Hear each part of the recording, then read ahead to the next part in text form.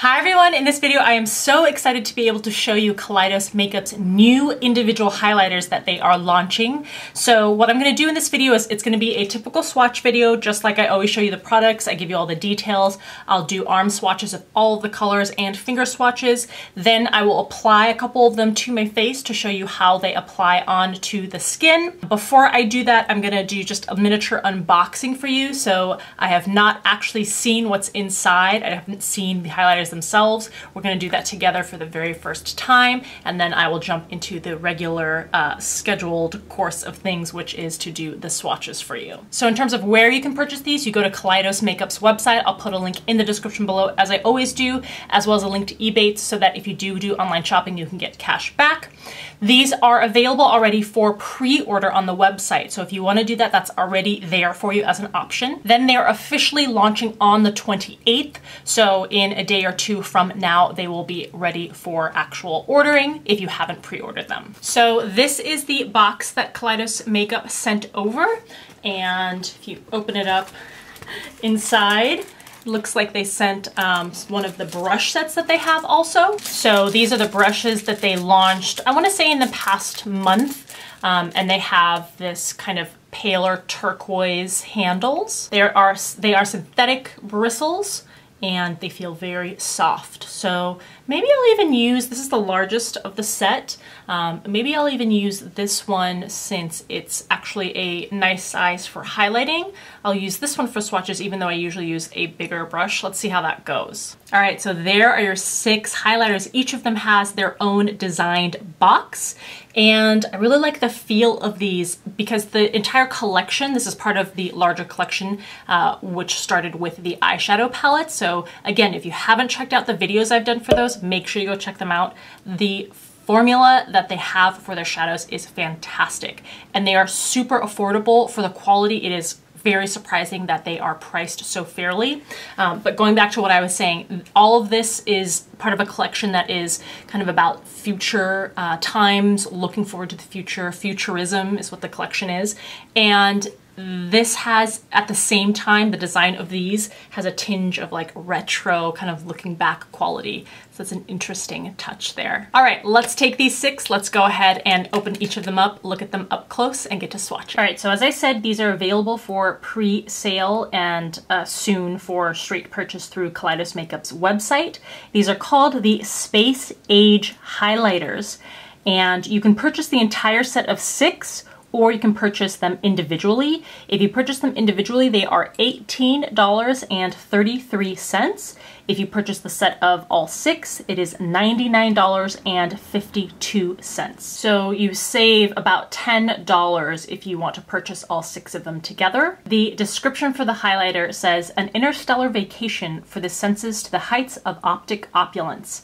This constellation of sun-soaked, color-shifting highlighters is here to guide you on a lavish voyage to your most radiant self. Shine as bright as the stars with the Space Age highlighters. So let's look at the individual boxes here just so you can see how they're each designed.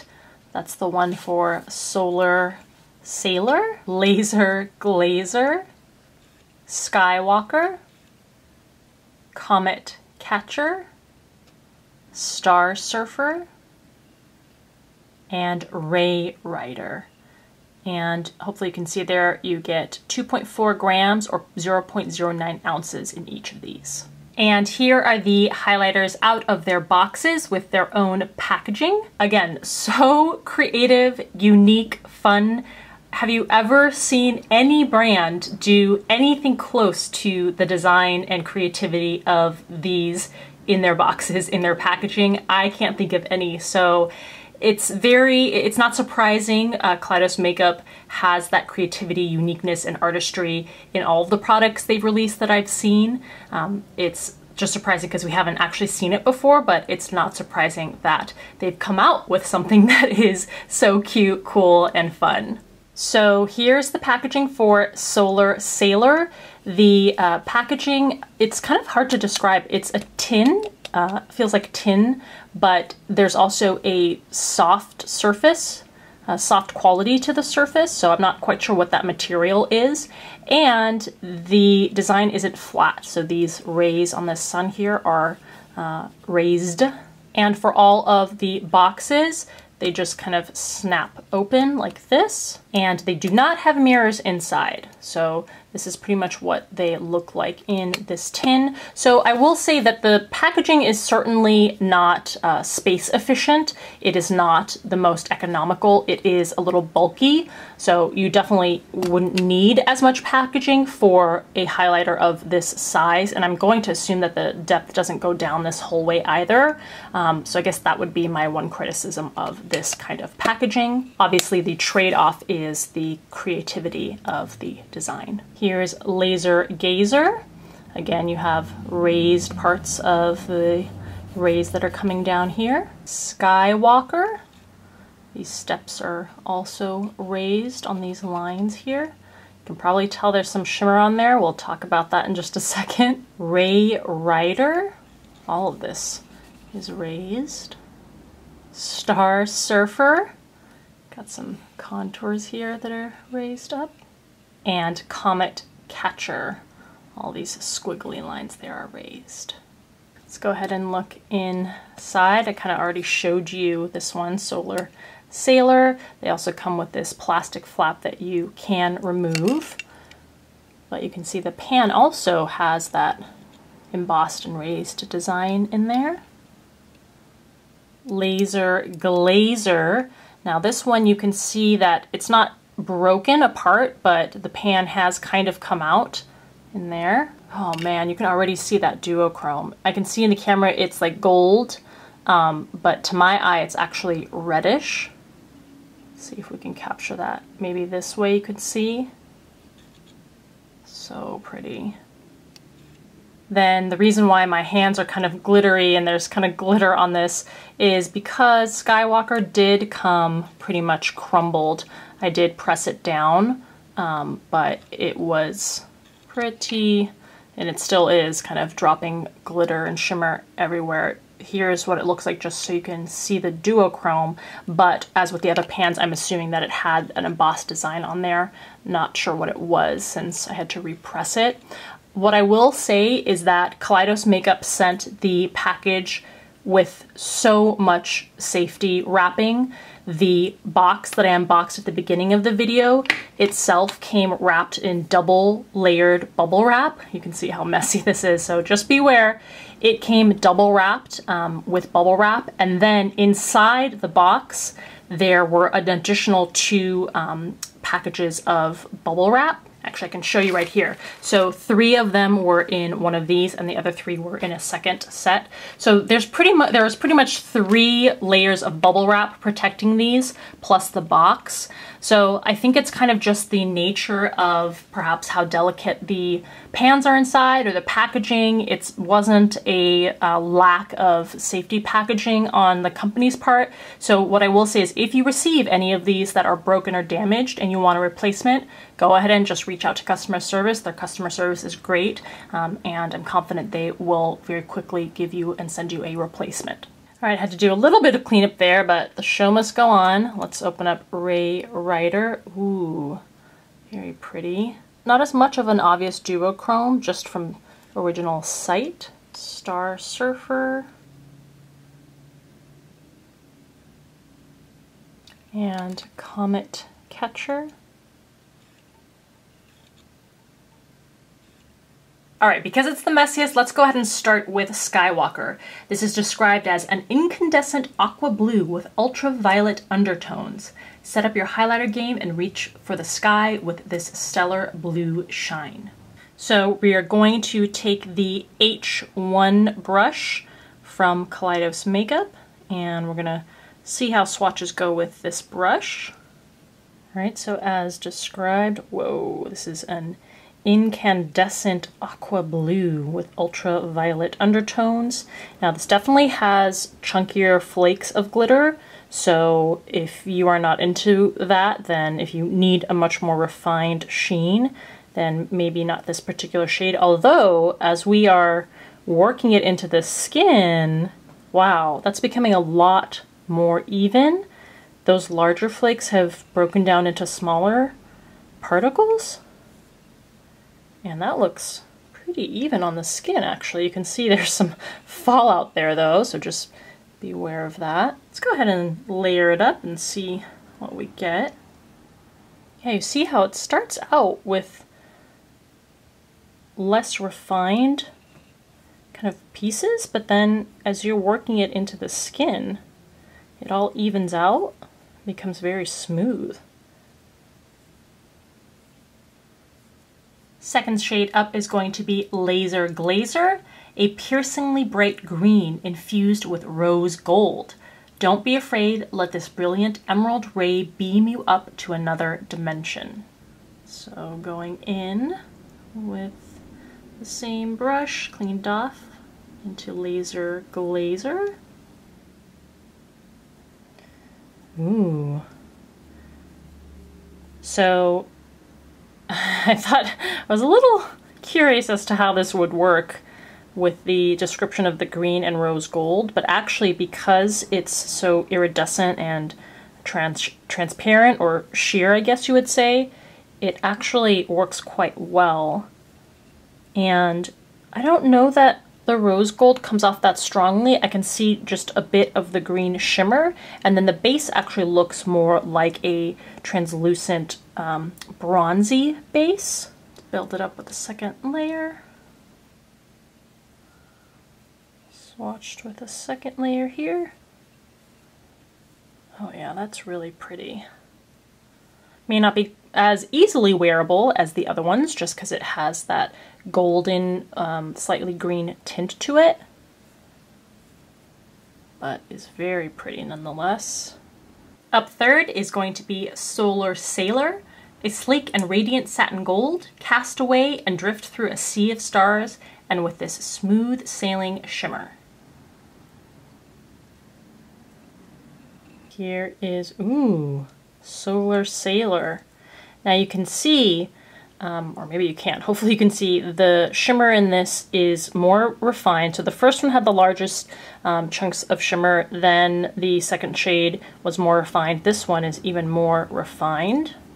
Uh, I don't think this is a duochrome shade. I think this is uh, more of a straightforward soft gold sheen. Let's apply a second layer. I don't think any of these so far have needed multiple layers, but this is more to show you what it would look like built up. Very pretty. All of them have layered really nicely and effectively. Next up is going to be Ray Rider, a velvety champagne sheen with a trace of peach. Cruise through gilded galaxies and carve through solar flares on this lustrous golden ray. All right, going in for the first layer. So this one it's described as a velvety champagne with a hint of peach, which I think is pretty accurate. It's mostly champagne, at least on this layer. Let's see if that changes any with a second one. Mm, yeah, at least on my skin tone, I'd say this is mostly champagne. Very smooth, even more refined than the prior three. And next we're gonna look at Star Surfer, a smooth, rosy champagne with silver undertones. Ride a wave of creamy starlight every time you dip into this heavenly shimmer. First layer coming up. So we heard rosy champagne with silver undertones. Very accurate in terms of color description. That went on super easily. Let's layer it up. Oh wow really turns up the punch on that one. And last up is Comet Catcher, a silky fluorescent fuchsia with a peach veneer. Shower your senses with this cosmic burst of berry stardust. All right, last one to be swatched with a brush. So I'm running out of room here. I'm gonna go back to the beginning and swatch it first over here. Now we heard this one is a fluorescent fuchsia with a peach veneer. Which again, I think is very accurate. That's the other thing I really appreciate about this company. They give you very accurate color descriptions. Comparatively, this seems to be the most subtle shade. Not that it's really subtle, but let's go ahead and add a second layer. And build that up. So pretty. Yeah, it's, it's as if someone from the company actually uses these products, swatches them, and knows what the actual colors are. Sometimes when I'm swatching things, especially things from MAC, the color descriptions are just so bizarre and not fitting the product at all. But I really appreciate that. They're very accurate with Kaleidos. Okay, so there are your six highlighting shades swatched with the Kaleidos brush. All of these are beautiful. You'll get a variety of um, particle sizes, I guess you would say. This is the uh, chunkiest still, even with blending. And then you'll get a um, variety of, uh, what do you call it, refinement, I guess you would say. So it's more about your particular taste. Let's go ahead and look at these up close. One by one. those duochromes. Very creative. And as usual, I'm also going to do finger swatches, so let's go ahead and do Skywalker. I'll also actually do this one second to stay consistent with the order of the brush swatches. Comet Catcher first, and Laser Glazer third. All right, so we have Comet Catcher, which is more subtle and sheer. Skywalker, definitely larger particles there. Laser Glazer, ooh, beautiful iridescent um, eyeshadow shade that one would be. And then the last three will be Solar Sailor, Ray Rider, and what is this one? Star Surfer. So Solar Sailor, Ray Rider, and Star Surfer. All right, there you go.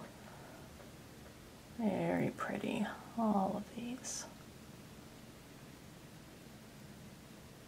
And of course, you can use any of these as eyeshadows if you prefer them that way too. All right, let's go ahead and apply some of these onto the cheeks. I'm gonna choose two different shades, apply one on each cheek so we get a little more bang for our buck.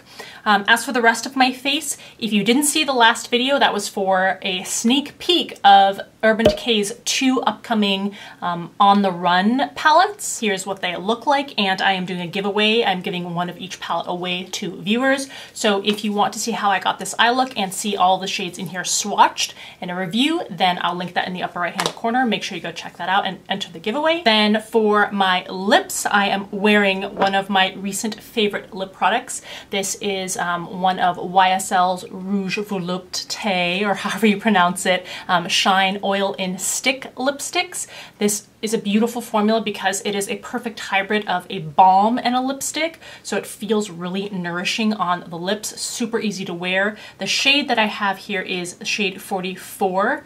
Um, so if you want to get this exact shade, but any of the shades in the range, whatever suits you. It's really the formula that is really lovely to wear. And then to complete the look uh, with the highlighter, I'm going to apply one of the Lancome Blush Subtil shades. They sent over a packet of these, so I'm gonna um, use one of them in the video, maybe take out another one, and then give the rest away in upcoming giveaways. But this is a formula that I have used many times. Um, I think I'm gonna use the shade Smile and Blush for this video. And these both of these products are things that I talked about in this past month's What's New in Beauty video. So if you haven't seen that one, I'll also link that in the upper right hand corner where I talk about a ton of different, um, it's kind of like a monthly roundup of new products. So if that's the kind of thing that might interest you, then go ahead and check that out. But in any case, this is a, just a very reliable, um, very high quality formula of blushes and I've been really liking using this particular shade lately, which is Smile and Blush, which looks like that. So I'm really curious to see what uh, this shade Laser Glazer looks like on the skin. So I'm gonna apply that using the same Kaleidos brush on one side, and I'll apply it first and then put the blush over. Oh, wow, look at that. What a fantastic formula. Wow. Right away you can see that duochrome. And it's both noticeable but also wearable, which I feel like is very hard to pull off with shades like this. Wow. Okay, no need to layer that up, I don't think. I'm gonna go ahead in with my Smile and Blush blush. Oh, so pretty. Look at that. And then on this side, I'm gonna apply the blush first and then put the highlight on top. I love this flush of pink here with mauve. Great color. It's something you can wear sheer or very easily build up to get the intensity that suits your liking. It has a very, very subtle sheen to it. It's not shimmer, it's not glittery. And that highlight on this side stayed right in place even though I put that blush on top and was blending and buffing it out. All right, for my right cheek, I wanna use Comet Catcher because I know that that's the more subtle Oh, it's not that subtle on the cheeks. Uh, this shade matches really nicely with the blush. But you can definitely see that on the cheeks right away. Now, of course, if you want to build it up, you can go ahead and layer it, but you very well may not want to.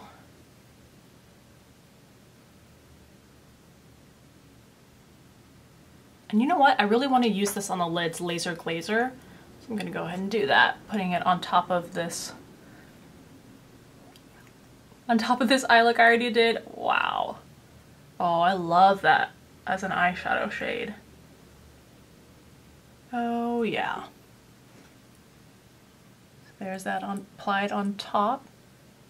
Alright, so there are the six new Space Age highlighters launching soon at Kaleidos Makeup. As you can tell, I really adore this brand. I love these highlighters. I do think that my criticism stands as valid in terms of the packaging being bulky. So if you're someone who really cares about being economical, then this packaging is not gonna suit your taste or your lifestyle maybe. Um, and of course I did receive one of the six highlighters that was broken. So that is a risk that you're going to take even though the package was packaged very well better than any package I've ever received from somewhere like Sephora or Ulta. Or Ulta. And if you saw my latest Huda Beauty's uh, video on the Nude Obsessions palettes, you will hear my mini rant about uh, receiving all three of the palettes from that collection from Huda Beauty broken. Every, every shimmering shade was broken in each palette, basically. Um, and that one only came in a thin layer of bubble wrap. So it wasn't for a lack of trying on Kaleidos's part to keep these intact. So just be aware of that. Don't be too surprised if you order uh, several of them or the whole set and if one's broken, make sure you get your replacement from the company. I'm sure they'd be happy to do that. But in terms of the quality of these, these highlighters are not your subtle sallies. They are more impactful and in your face. You can absolutely sheer most of them out. I think it'd be a little bit difficult on um, that shade that had more chunky glitter, Skywalker, just because the particles are larger. I think it'd be a little bit harder to sheer them out. But for the rest of them, if you use something like a fan brush instead or a light hand, you can keep it subtle. But if you want to layer it and make it more impactful, you can absolutely have that effect. And the bonus is you can get really pretty eyeshadows out of them too. So thank you for Kaleidos for sending these over for me to look at. Appreciate it as always. If you enjoyed watching this video and looking at these with me, please give the video a thumbs up. As always, I appreciate you taking the time to watch these videos and I'll see you in the next one.